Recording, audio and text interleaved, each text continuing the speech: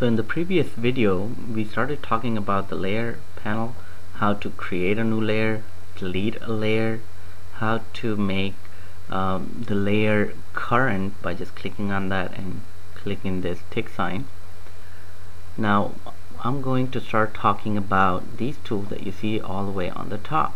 They are pretty much similar to the ones that you see over here okay? But let's go and start working with these right now I'm gonna close this. Now the first one that we saw was the layer properties manager. You just click on it and this window pops up. We already start working with that. The second one is making object layer current.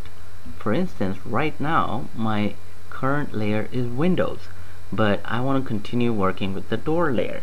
So how would I make the door layer current?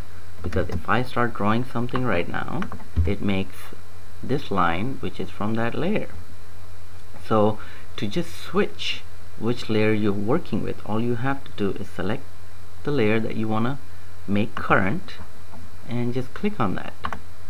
So now the door layer sticks.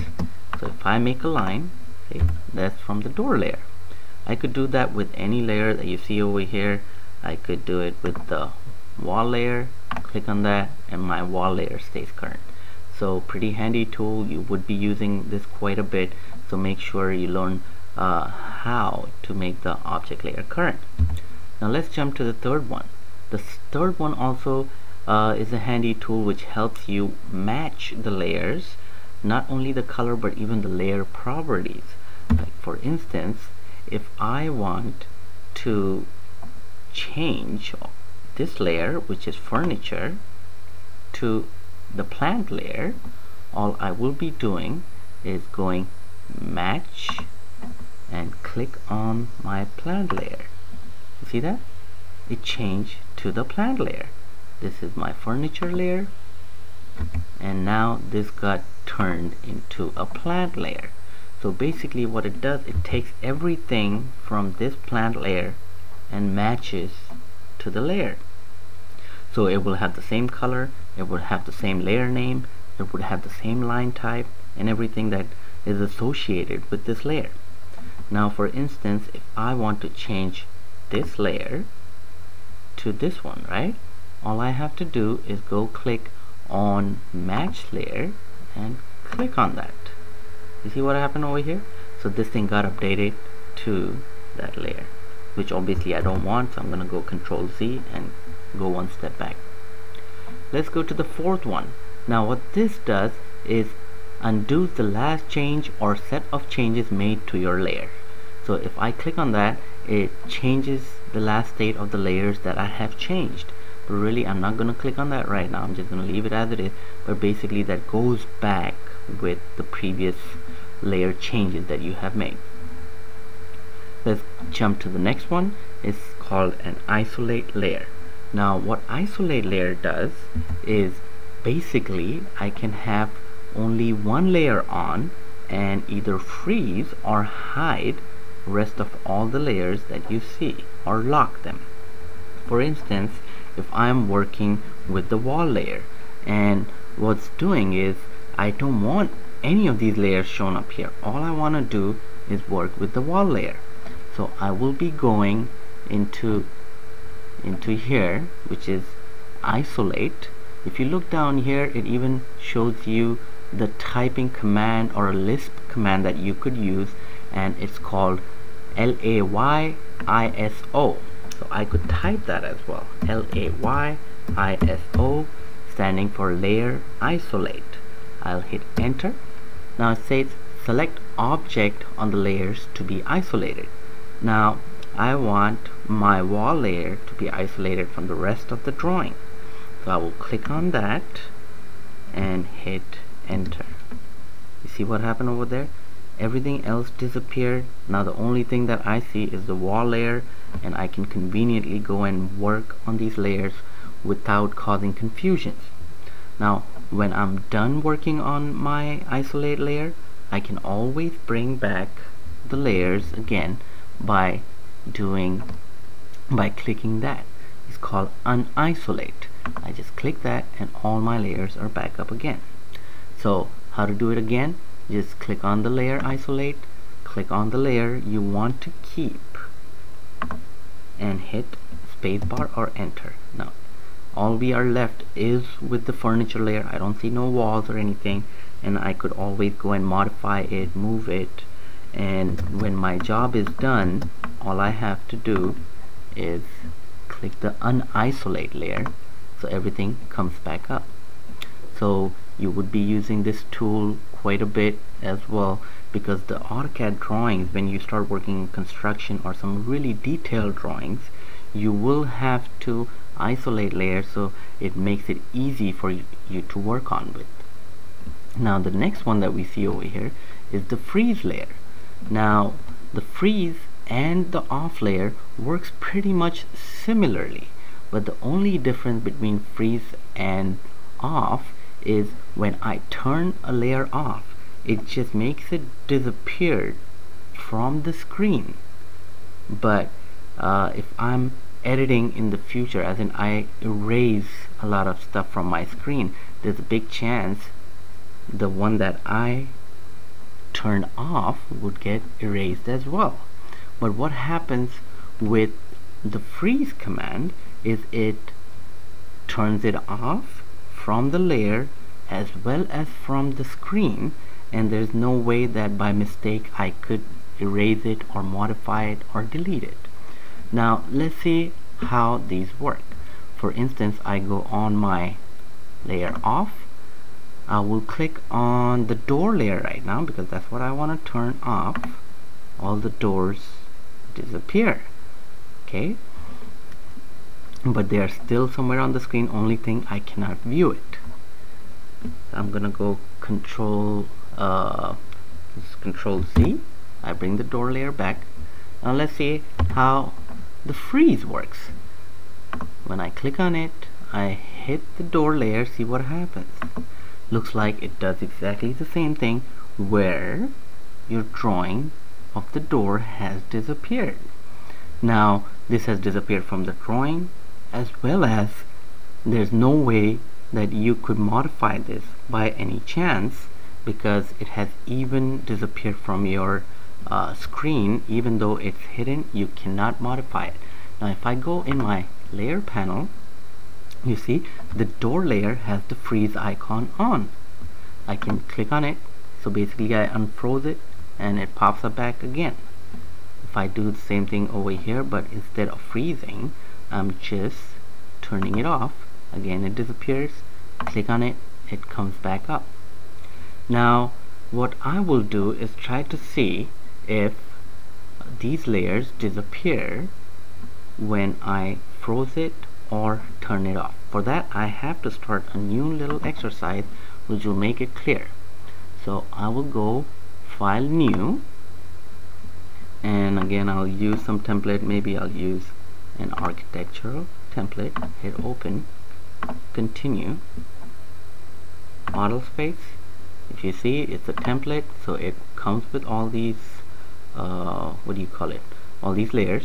So I'm gonna go on window layer draw uh, something. Use a rectangle I draw a rectangle. Go in another layer. Draw another rectangle. Go in the third layer. Which is the reference. Draw another rectangle. And the last one I would take is the text layer. Draw another rectangle. Okay? So now let's see if I turn it off what happens. For instance I'm going to click on the off layer and I'm turning off this layer and I turn off that layer. Okay? So my turning off the layer is done. So now if I were to delete maybe my whole screen technically only these two should be deleted right? Because these two have disappeared already so I'm going to try using the erase command. And when I select object I type ALL as in all and hit enter. Now objects are selected. Hit enter. They are gone. Okay but you saw I just deleted two squares so the ones that I turned off before shouldn't be deleted. Okay but I'm going to go here and see I'll turn off those layers which I turn turn on turn on. And close it. Do you see it over here? No. What happened? So what happened was the layers even though they were hidden they got deleted. Now let's go do the same thing but instead of hiding these two I'm going to freeze these two. So use the freeze command click on that and click on this so currently I have two layers, layers frozen and two layers active. I'm going to use the same exact command as in I want to delete everything that's there on my screen. So I do erase E enter select objects. I'm gonna type ALL for selecting everything and hit enter and hit enter. So now what happened was the ones that I selected got deleted even though I selected the whole screen right? So but let's see if my two frozen items have deleted or if they are still there. Going to go in my layer manager. Now the two frozen objects were these. I click on that and I click on this one. Close this. You see what happened? So these two layers were frozen so they never got deleted but if I would have